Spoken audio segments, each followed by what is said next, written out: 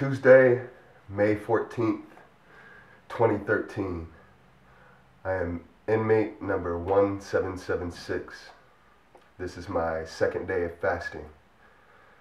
Um, the second day has been um, a little tougher than the first day in the morning, uh, but I haven't I haven't felt hungry in the last few hours, so it's um, it's getting a little bit better.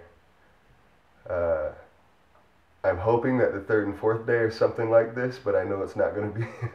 it's gonna it's gonna start um, going into the stomach cramps and all that good stuff, and then slowly but surely I'm gonna lose power in all of my limbs and slow down a whole lot and lose all my body mass, the little that I have.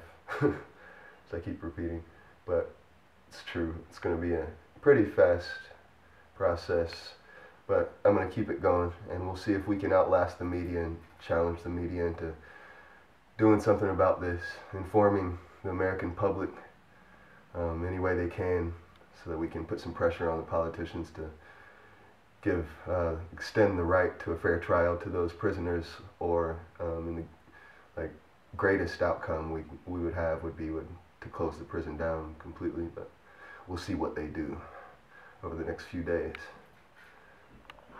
Are you uh, totally on water now? Uh, not yet. I'll be um, the day after tomorrow. I'll be completely on water. Completely on water then. Yeah. Right now it's just been, been basically like juice and like Powerade, pretty much. And I'm gonna. I've been kind of cutting that today. I drink some water, but tomorrow I've got to do half and half at least. So the day after I can be cut down on my carbs. I just wanted to make sure I didn't crash early or anything, and actually get my body somewhat used to not getting too many nutrients. Right. um, has it affected your sleep yet at all? Uh, I couldn't sleep last night because I was hungry, but um, uh, I'm not really feeling too hungry right now, so I'm hoping that this this continues for a little while, as long as possible, because tomorrow and the day after kind of worry me.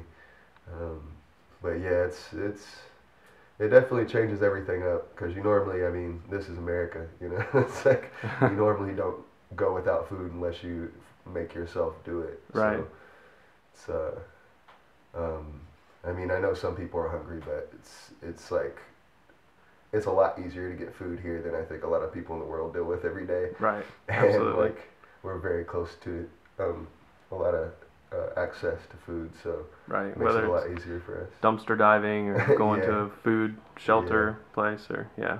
Right. All right. Well, we will check back in with you tomorrow and see how it's going tomorrow. Thanks. I look forward to it.